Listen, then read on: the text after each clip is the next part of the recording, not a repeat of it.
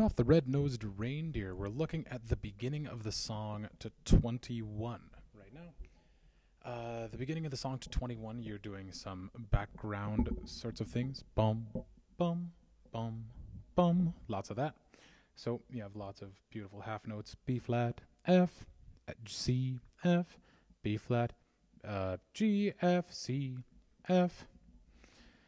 And then from 5 to 13 is an 8 bar phrase that's repeated almost exactly the same twice else in the song.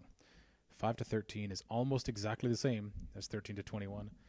The first bar is the same, second bar, third bar, fourth bar the same, 5, 6 bars the same, 7 bars the same, 8 bar just a tiny difference. Those last two notes, bum bum, those are the only differences between bar 5 and 13.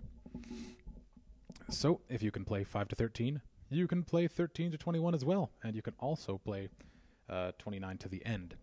But we'll get to that in the second part. So, bar 5, if you're needing to check that your note names are right, we have B flat, F, B flat, G, F, B flat, D, D flat, C, F, C, F, F, C, F, C, F, F, B flat, G, F. And then again, 13 is the same as 5, all the way until the last bar where you have B flat, C, D, and then it's a G, but we'll get into that in the next part. So here is what it sounds like from the beginning of the song through bar 21.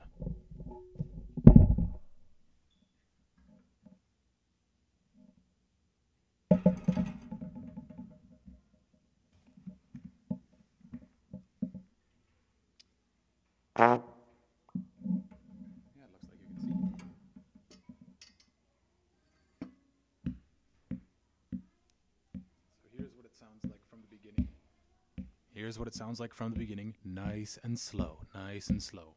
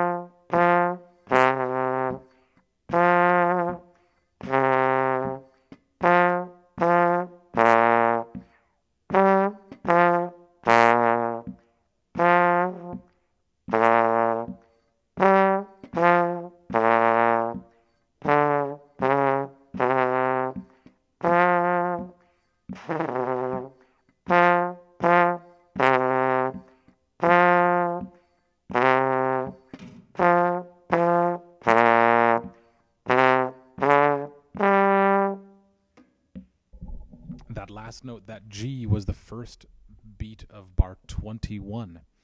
Bum, bum, bum.